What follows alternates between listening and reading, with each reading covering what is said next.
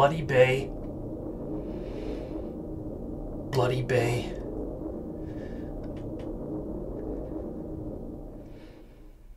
Bloody Bay. Who dare summon the Grey Bay? I do.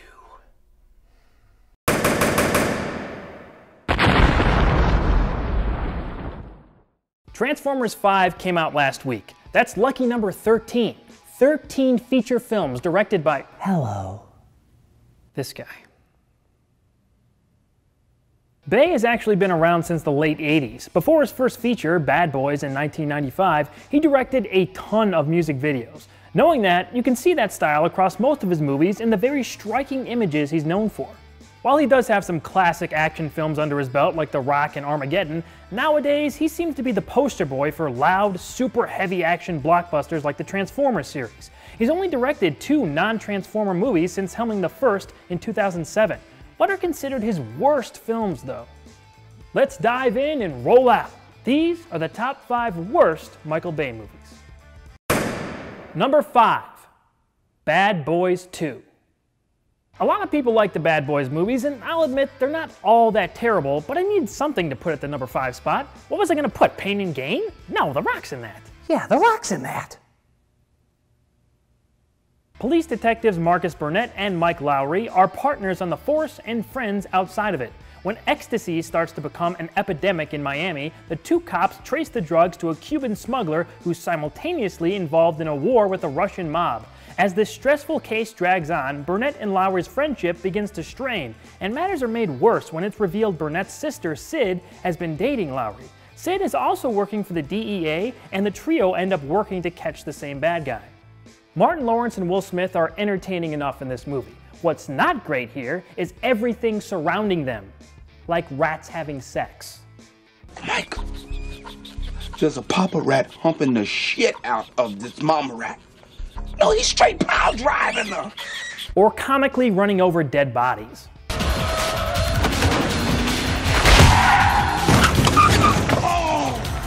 Bad Boys 2 is definitely as lewd as can be, but it's rated R. What do you expect? Okay, didn't expect the rat sex. Or this. We need your car. All right? Get out. Can you not get a better car than that? Let that man go.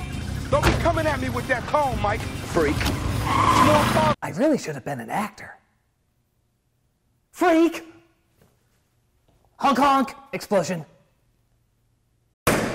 Number 4. Pearl Harbor. Look, I already had to talk about this movie when discussing Ben Affleck's worst performances, and having to watch it again sucked. Because this movie sucks!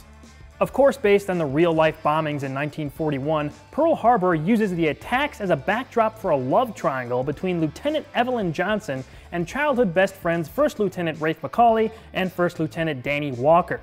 Rafe and Evelyn become an item before he volunteers to help the Allies overseas. While there, Rafe's plane goes down and he's pronounced dead. Together in mourning, Danny and Evelyn become close and eventually form a romantic relationship.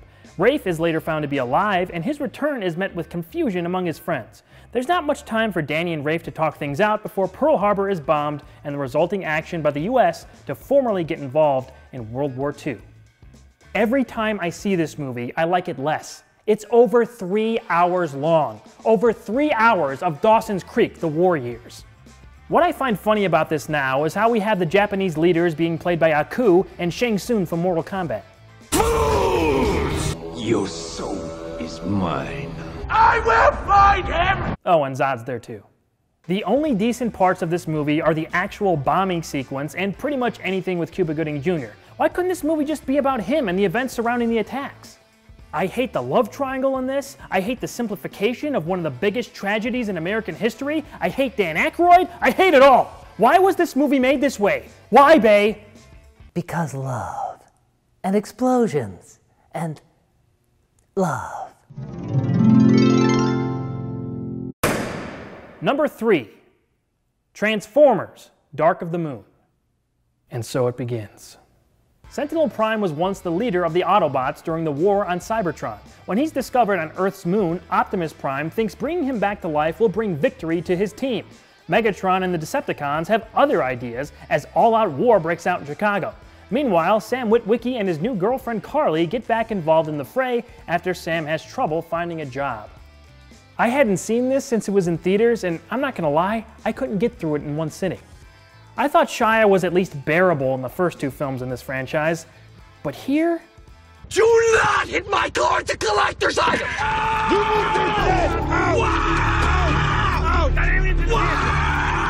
his parents are even worse. He's a millennial. It means they're the, you know, like lost generation. They had an argument. You're a good-looking kid, but you're not going to get a third one. I mean, unless you have like a big. What the f- Maybe it's mom, mom, Maybe you mom, just don't mom. know what you're doing. I don't want to talk about this You need anymore. the book. They got Leonard Nimoy to voice Sentinel Prime in this. Sounds like a good idea. Oh, wait, no, it doesn't. The needs of the many outweigh the needs of the few. Yes, we get it. He was Spock. I know this is just a Chicago thing, but this bothered all of us. We're gonna use Willis Tower for cover! Yeah, sorry for destroying your city, but at least we brought back some new jobs when we shot the newer film here. We didn't? We did. Screw you, Chicago. Number two, Transformers Age of Extinction. I object. Mark Wahlberg as Cade Yeager is the most compelling performance since Mike Myers in The Love Guru. He's an inventor. Yes, we know. I'm an inventor. Five years after the Battle of Chicago, all Transformers are outlaws. When inventor Cade Yeager discovers an old truck, he gets more than he bargained for, as that truck turns out to be none other than Optimus Prime himself. As new threats arise, and with Cade's family by their side, the Autobots now must reconvene as they're hunted by human and Transformer alike. They tried changing things up here with new human characters, and it felt fresh at first. If this movie was an hour shorter, I might have been able to get through it without falling asleep. At 2 hours and 45 minutes, it crushes any goodwill it built up in the first act and turns into the same mindless crap the previous two movies were. And seriously, what the f is up with the creepy underage stuff in this movie? It's not cute, it's not funny, it's freaking weird. She's a 17 year old girl. We're protected by the Romeo and Juliet laws. I think she looks hot. I'm basically your uncle. I think she looks hot. I'm basically your uncle. I think she looks hot. They tried to bring some gravitas to this movie with Kelsey Grammer and Stanley Tucci, but they don't bring this movie up. This movie brings them down. The movies nowadays, that's the trouble. Sequels and remakes, bunch of crap. Yeah, nice. And the number one worst Michael Bay movie is Transformers Revenge of the Fallen. This list is a farce. This movie made over $800 million at the box office. People love it. You'll love it. You'll love it. Don't deny it. Don't deny it. Love. With Sam leaving for college and the Autobots working with the American military, things seem to have settled down on Earth two years after the first Transformers battle. However, everyone is pulled back into the fight when Megatron is resurrected and an ancient Decepticon called the Fallen reemerges on Earth. It's up to Sam, his girlfriend Michaela, and the remaining Autobots to defeat these dangerous new foes. I'm running out of things to say. These movies are all the same. I think it may be a general consensus that this is the worst of the Transformers sequels, though. I mean, we do get more animal sex than general humping. Mojo, no dominating Frankie. Say my name. Say my name. What are you allowing to happen to your foot just now? At least he's faithful, Sam. Yeah, well, he's faithful and he's nude and he's perverted. This is the Witwickies at their worst. I'm talking insufferable. They baked it with reefer in it. No, it's Yeah, no. please give me. Hey, it's my cheat day. Oh I can eat what I want. I'm gonna freak out. Hey, Professor, I'd do anything for an A. Is that a Bad Boys 2 poster? Really, Bay?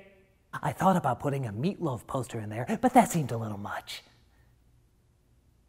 Michael Bay has shown that he can make fun and, more importantly, tolerable movies. He says this latest Transformers sequel is the last he'll direct. Time will tell if that's true, and we'll finally get something a little different from him, like 13 Hours from last year. For now, though, he'll continue to be known as the guy who directed this.